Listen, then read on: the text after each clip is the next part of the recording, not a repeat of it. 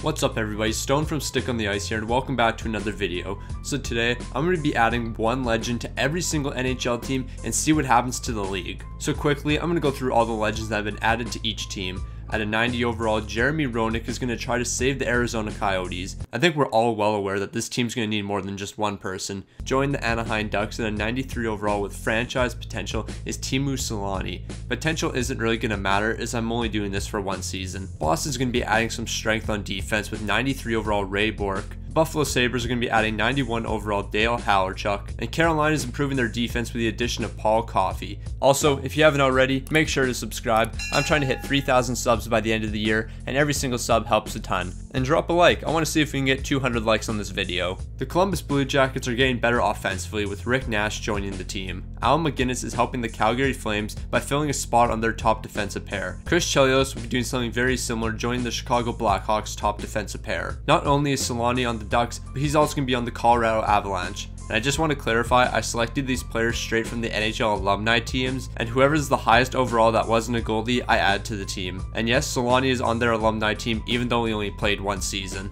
The Dallas Stars are gaining more offensive power, bringing in 92 overall Brett Hull, while Mr. Hockey himself is returning to Detroit to get them back to greatness. The great one, Wayne Gretzky, is going to be teaming up with Connor McDavid and Leon Draisaitl in Edmonton. You're also going to see Gretzky on a few teams. Joe Nieuwendyk coming to the Florida Panthers to give them some more forward depth. The LA Kings are getting themselves a fantastic player by the name of Wayne Gretzky, not sure if you've heard of him before. Looking to help the Minnesota Wild get over the hump is going to be Owen Nolan. Montreal is getting back one of their faces of the franchise in John Beliveau, while the New Jersey Devils are making their defense even stronger by adding Scott Niedermayer. Joining the Nashville Predators is going to be legend Peter Forsberg. I know Forsberg only played 17 games with Nashville, but he's on the alumni team, so don't stone me for putting him on this team. Denis Potvin is going to be returning to the Islanders, and Wayne Gretzky makes his third team join the New York Rangers. Sergei Gonchar is teaming up with Thomas Chabot on Ottawa's top D-line. Helping the Philadelphia Flyers D-line is going to be Chris Pronger. Pittsburgh's adding another superstar to the team with the addition of Mario Lemieux. So Seattle, of course, isn't going to have anyone to add,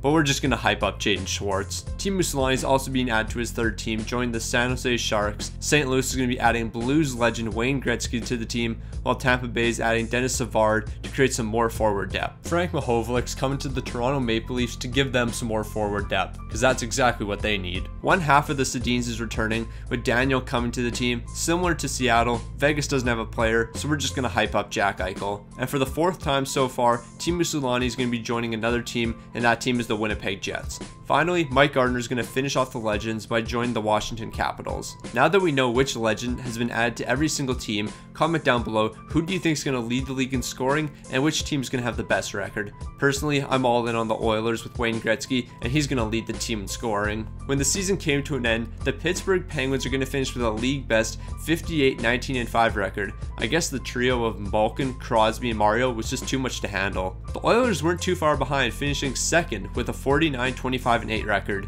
Even without a legend, Seattle's still going to be able to make the playoffs. Same with Vegas, as they finished with a 44, 35, and 3 record. The final team that's going to be clinching a playoff spot is going to be the Winnipeg Jets with a 40, 36, and 6 record. And finishing dead last in the league, which should be no surprise whatsoever, is the Arizona Coyotes. This team is just down bad. Now we're going to take a quick look at how all these legends performed. Selanne is going to lead the Ducks in points with 16 goals and 50 assists for 66 points. Jeremy Roenick's recording 66 points consisting of 21 goals and 45 assists. Even as defenseman, Ray Bourque is producing offensively with 11 goals and 45 assists. Dale Hawerchuk is leading the Buffalo Sabres in points with 77 in 82 games. Al MacInnis was extremely disappointing, recording only 34 points. Like, what are you doing, bro? Unlike Al, Paul Coffey was dominating as a defenseman, scoring 90 points in 82 games. Chris Chelios was also doing his thing, scoring 8 goals and 68 assists for 76 points. Colorado's Teemu Selanne was doing better than the Ducks version, scoring 75 points, which is good enough for second on the team in points. Rick Nash was also doing his thing in Columbus, recording 60 points consisting of 31 goals and 29 assists. Brett Hull is a massive help to Dallas's offense, recording 38 goals and 45 assists for 83 points. Gordie Howe is a bit of a disappointment, especially if you're comparing him to the career simulation version, scoring only 64 points. Wayne Gretzky from the Oilers was unstoppable with 57 goals and 52 assists for 109 points. Joe was a massive help for the Panthers as he's scoring a team high 82 points consisting of 31 goals and 51 assists. Gretzky on the Kings wasn't as dominant, scoring only 77 points. Owen Nolan had himself a great year, scoring 29 goals and 46 assists for 75 points. John Beliveau was terrific for Montreal, scoring 88 points. And of course, Nashville legend Peter Forsberg was also great, potting 29 goals and 77 helpers. New Jersey saw a lot of offense from their defense, with Scott Niedermayer recording a team high 72 points. Denis Potvin was also dominating as a defenseman, scoring 14 goals and 58 assists for 72 points. Gretzky from the Rangers was fantastic, recording 48 goals while picking up 44 helpers for 92 points. Sergei Gonchar put up some decent numbers with Ottawa, scoring 41 points, while Chris Pronger wasn't much better, recording only 39.